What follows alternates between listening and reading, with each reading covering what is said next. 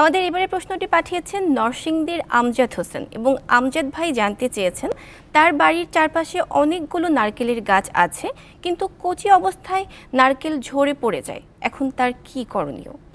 ধন্যবাদ আমজাদ ভাইকে। আসলে আমাদের কিন্তু একটা প্রচলিত ধারণা আছে কি, নারকেল গাছে নর্মালি সার দেওয়া হয় না। গ্রামে দেখা যাচ্ছে যে বাড়িতে গাছ আছে, কিন্তু পরিচর্যাটা কিন্তু ওইভাবে করা হয় না।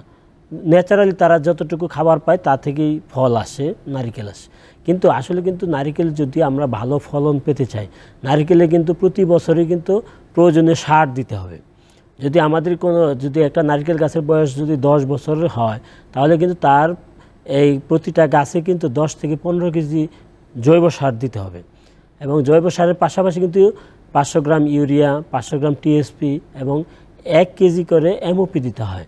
কারণ এমওপি সারটা আমাদের নারকেলে বেশি। নারকেলটা হচ্ছে আসলে পটাশ লাভিং একটা ফসল। মানে পটাশের পরিমাণটা নারকেল গাছে বেশি দিতে হয়। এখন আমাদের যদি ওনার যে আমদাদ ভাই যদি তার জমি মানে নারকেল গাছে যদি কোনো সার না দিয়ে থাকে, আমি তাকে পরামর্শ দেব সে যেন সুষম সার যেন ইউজ করে। এবং আর তার নারিকেলের যে, নারিকেল যেহেতু পটাশ লাভিং ক্রপস এখানে যদি সে ঘরোয়াভাবে যদি নারিকেলের ইটের গুঁড়া, আমাদের সে কিন্তু এটা ইজিলি পাওয়া যায়। নারকেল গাছের গোড়ায় যদি সে ইটের গোড়া দিয়ে দেয়, তাহলে তার যে পটাশিয়ামের যে অভাবটা, এটা পূরণ হয়ে যাবে। তো এই পটাশ যদি ভালো থাকে, যদি গাছ যদি পর্যাপ্ত পরিমাণে পটাশ পায়, তাহলে তার এই ফল জড়াটা ঝরবে না। সে তার কিন্তু ফলটা আর কুচি অবস্থায় ঝরে যাবে না। আর যদি তার যদি ড্রাই অবস্থা থাকে জমিটা যেই গাছটা লাগানো হয়েছে, ওই এলাকায় যদি দেখা যাচ্ছে মাটিগুলা খুব মানে ড্রাই হয়ে গেছে, শুষ্ক হয়ে গেছে, তাহলে যেন সে যেন একটা রাউন্ড করে, গাছটাকে রাউন্ড করে, যেন সে পানি দেওয়ার একটা ব্যবস্থা করে। সে যদি পর্যাপ্ত পানি এবং সার দেয়, তাহলে তার গাছে এই সমস্যাটা আর থাকবে না। জি স্যার, ধন্যবাদ। আমাদের এবারের প্রশ্নটি পাঠিয়েছেন চুয়াডাঙ্গার নজরুল এবং তিনি বলছেন তার এক বিঘা জমিতে আগাম ফুলকপির চাষ করতে চান তিনি। কোন জাতের ফুলকপির চাষ করবেন এবং চাষ পদ্ধতি সম্পর্কে বিস্তারিত জানালে তিনি উপকৃত হবেন? ধন্যবাদ নজরুল ভাইকে। আসলে কিন্তু আমাদের কৃষকরা কিন্তু এখন সচেতন। যেহেতু সব কিছু কিন্তু হয় আগাম করতে চায় না হয় লেট ভ্যারাইটি করতে চায়। কারণ যেহেতু ভরা মৌসুমে কিন্তু ফসলের দামটা পায় না। না। তাই আমি তাকে পরামর্শ দেবো, সে যদি যেহেতু এখন আগাম, যদি ফুলকপি লাগাতে চায়, এখনই কিন্তু চারা তৈরি করতে হবে। কারণ চারা তো, বেডে চারা তৈরি করে কিন্তু যেহেতু সে এখন সেপ্টেম্বর মাস চলতেছে, যেন সেপ্টেম্বরের শেষ দিকে অথবা অক্টোবরের প্রথম দিকে যেন সে মূল জমিতে চারা লাগাতে পারে, তাহলে কিন্তু তার ফলনটা আর্লি হবে এবং তার কিন্তু ভালো ফলন, দামটাও ভালো পাবে।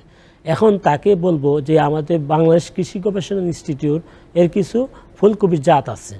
যেমন বাড়ি ফুলকপি ওয়ান, রূপা, তারপর বাড়ি ফুলকপি টু এই দুইটা জাতি কিন্তু ভালো এবং আগাম ফলন দেয় এবং ষাট থেকে পঁয়ষট্টি দিনের মধ্যে কিন্তু তার ফলন মানে ফুলটা চলে আসে এবং সুন্দর ফল এবং সাদা। আমাদের যেহেতু ফুলকপির কিন্তু মেনই একটা হচ্ছে কি সাদা হতে হবে।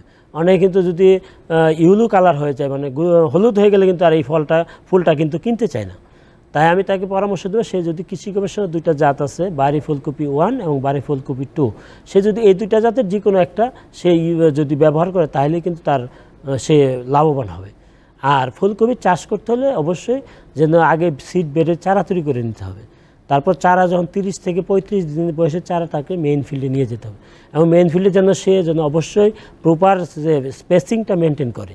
যে sixty centimetre into forty centimetre মানে একটা শাড়ি থেকে শাড়ির দূরত্ব হবে সিক্সটি ষাট সেন্টিমিটার এবং একটা গাছ থেকে একটা গাছের দূরত্ব হবে চল্লিশ সেন্টিমিটার যদি এইভাবে সে মেনটেন করে যদি গাছ লাগায়, তাহলে তার গাছের গ্রোথ ভালো হবে এবং ফুলটাও কি সুন্দর হবে। তাহলে কিন্তু সে এইভাবে যদি সে মূল জমিতে যদি ফুলকপির চাষ করে, তাহলে সে লাভবান হবে। জি স্যার, ধন্যবাদ। আমাদের এবারের প্রশ্নটি পাঠিয়েছেন ভালুকার মোতালিব এবং তিনি বলছেন, তার পুকুরের চারপাশে সজিনার গাছ লাগাতে চান তিনি এ ব্যাপারে তিনি প্রয়োজনীয় পরামর্শ চেয়েছেন। ধন্যবাদ। আসলে কিন্তু সজিনা কিন্তু আমাদের কিন্তু একটা সবচেয়ে ভালো ঔষধি মানে সবজি। এবং এখন কিন্তু সজিনার পাতাও হ্যাঁ সজিনার পাতাও কিন্তু সবজি মানে মেডিসিনাল প্লান্ট মানে একটা ঔষধ হিসাবে ইউজ করা হয়। এবং এটা কিন্তু প্রচুর পরিমাণে আয়রন আছে। এটা এই জন্যই আমাদের দেশে কিন্তু সজিনার কিন্তু দাম কিন্তু দিন দিন বৃদ্ধি পাচ্ছে। এক কেজি সজনা কিন্তু এখন কখনোই আশি থেকে নব্বই টাকার নিচে আসে না। তাহলে যদি এটা, আর যেহেতু সজনা ফসলটা হচ্ছে এরকম ফসল, সব জায়গায় হয়। এটা কিন্তু একদম ড্রট কন্ডিশনও হয়, আবার স্যালাইন কন্ডিশনে হয়। তার পিএইচের মাত্রা পাঁচ থেকে নয়। মানে একদম অ্যাসিডিক কন্ডিশনে হচ্ছে, আবার নাইন মানে কি হচ্ছে একদম ক্ষারীয়। মানে ক্ষা- ক্ষারীয় অবস্থা। ওইখানেও কিন্তু সজনাটা চাষ করা যায়। এখন আমাদের দেশে যেভাবে মানে জাত আমাদের অনেক সাজনার কিন্তু আমাদের সজনার দুইটা জাত আছে। যে একটা হয় বছরে একবার ধরে, আর আমাদের বারো মাসি জাত আছে একটা। এটা কিন্তু বছরে তিন থেকে চারবার সজনা হয়। আমি তাকে পরামর্শ দেবো সেজন্য বারো মাসি জাতটা ইউজ করে। তাহলে কি হবে, তিন থেকে চারবার সে ফল পাবে। সজনা কিন্তু নর্মালি আমরা কাটিং লাগাই, যে ডাল কেটে কেটে লাগানো হয়। এবং এই ডালটা লাগানোর ক্ষেত্রে খেয়াল করতে হবে যে যে ডালটা তার গাছে যে অবস্থায় ছিল, যেন গুড়ার দিকটা যেভাবে ছিল, আগার দিকটা, যেন সে যেন উল্টা না হয়ে যায়। মানে গুড়ার যে ডালটা, গুড়াটা যেন নিচে লাগায়, আবার আগাটা যেন উপরে থাকে। এবং গাছে যখন সে যেন গর্ত করে লাগাবে, গর্তের তিন ভাগের এক ভাগ যেন গর্তের ভিতরে থাকে, আর দুই ভাগ মাটির উপরে থাকবে। এবং মাটির উপরে থাকার পর যে যে উপরের অংশটা যে থাকে, ওইখানে সে যেন আলকাতরা দিয়ে দেয়। আলকাতরা না দিলে কি হবে? ওই ডালাটা, উপরে আগাটা শুকিয়ে যাবে। শুকিয়ে গেলে কিন্তু দেখা যাচ্ছে যে মারা যেতে পারে। তাই যেহেতু ফাঙ্গাল অ্যাটাক করার সম্ভাবনা থাকে, যেহেতু কাটা অংশ, তাই তাকে পরামর্শ দেবো সেই জন্য আগার অংশটাকে আলকাতরা দিয়ে দেয়। তাইলেই কিন্তু তার ভালো ফলন হবে।